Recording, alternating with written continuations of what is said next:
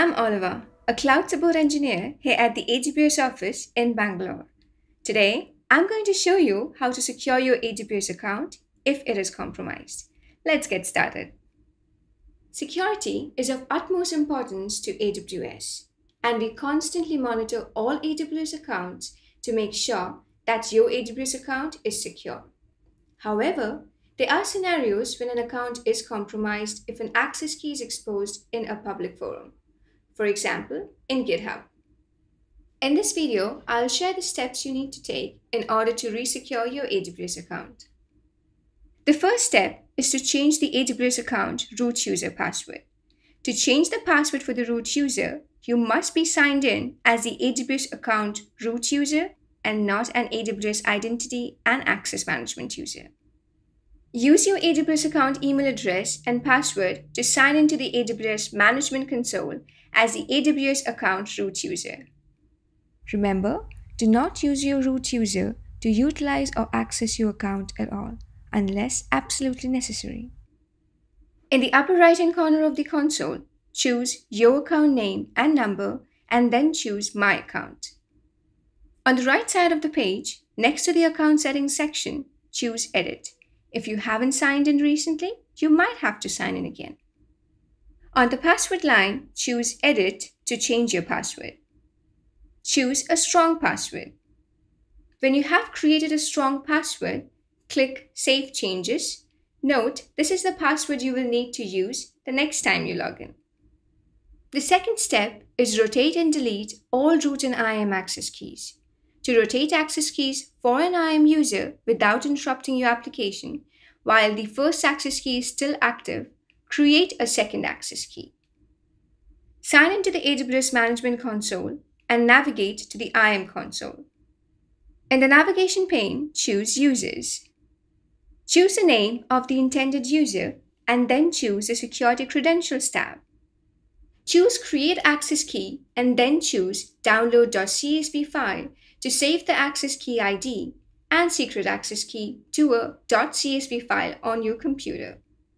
Store the file in a secure location. You will not have access to the secret access key again after this window closes. After you download the .csv file, choose Close. The new access key is active by default. At this point, you have two active access keys.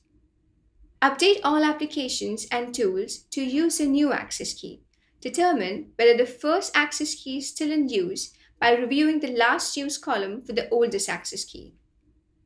Use only the new access key to confirm that your applications are working.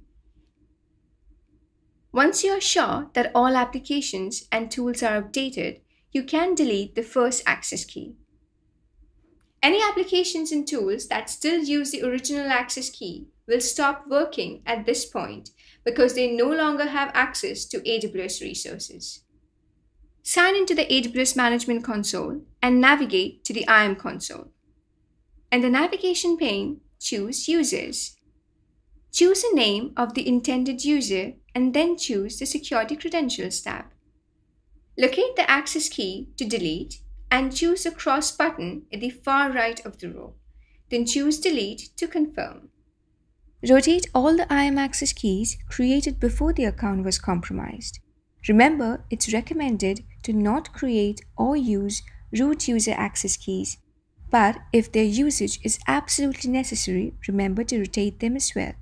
Or delete root user access keys if you do not absolutely need to use them. The third step is to delete any resources on your account you didn't create, such as Amazon Elastic Compute Cloud instances, AMIs, Amazon Elastic Block Store volumes, and snapshots. Sign into your AWS account and then check that all the resources on your account are resources that you have launched. Make sure to check all AWS regions, even regions where you have never launched AWS resources. Pay special attention to the following EC2 instances and AMIs, including instances in the stop state, EBS volumes, and snapshots. If you're not sure how to delete a resource associated with a particular AWS service, reach out to AWS support. It's also a best practice to actively monitor your account. For more information, see the Security Best Practices article linked in the Associated Knowledge Center article. The last step is to respond to any notification that you receive from AWS support through the AWS Support Center. Thanks for watching and happy cloud computing from all of us here at AWS.